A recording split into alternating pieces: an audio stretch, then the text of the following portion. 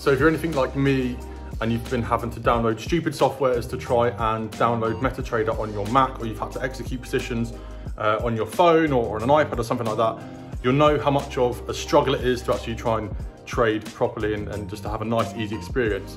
Um, but for some reason, MetaTrader don't like to do marketing, they don't like to tell people when they bring new things out, but you can now trade natively and you can download MetaTrader natively onto your Mac. Um, it's super, super easy. And in this video, I'm gonna show you exactly how. Um, so yeah, let's get straight into the video. When I say it was easy, I mean it's very, very easy. So you just have to go to metatrader5.com. Um, I'll put the link in the description below just to make it easier. Um, it'll bring you to this page here, uh, and all you have to do really is just press download for Mac. Um, so that will download. It'll be up here. Again, I've already got it, so I can just blank that off. But essentially, it will download.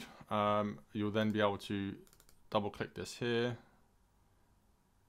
And eventually you'll have this pop up. So again, just drag it into applications. Again, if you're on Mac, you would have downloaded a million applications. So just do the usual procedure and it will install.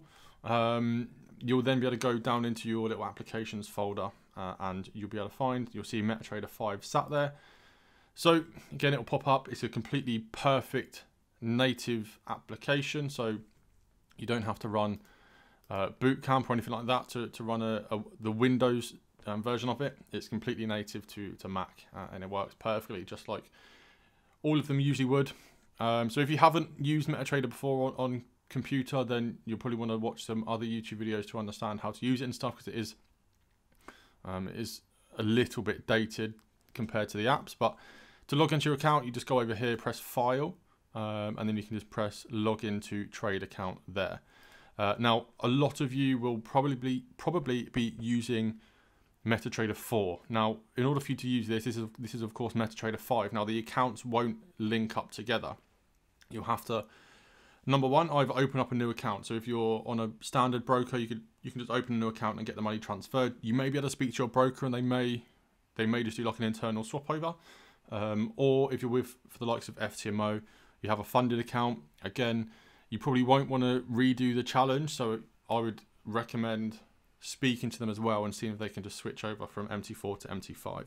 Um, again, not a lot of people use MT5 as opposed to MT4. But if you're taking trading seriously, then this is certainly something you, that you want to do. And I would massively recommend getting MetaTrader 5 and trying to keep the majority of your trading um, on your computer. Again, there's so many distractions on the mobile keep all on your on your computer. It will make things much much more professional and much much easier.